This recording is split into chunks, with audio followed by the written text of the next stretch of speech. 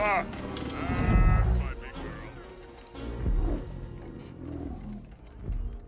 Look at those pathetic worms burrowing their lives away.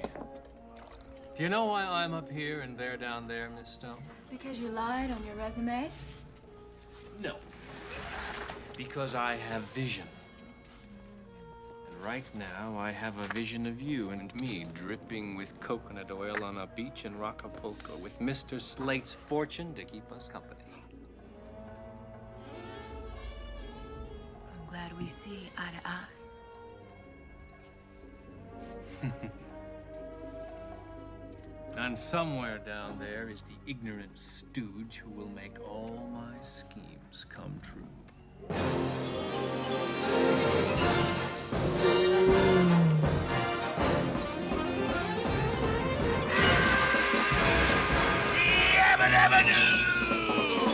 Flintstones, meet the Flintstones. They're a modern Stone Age family.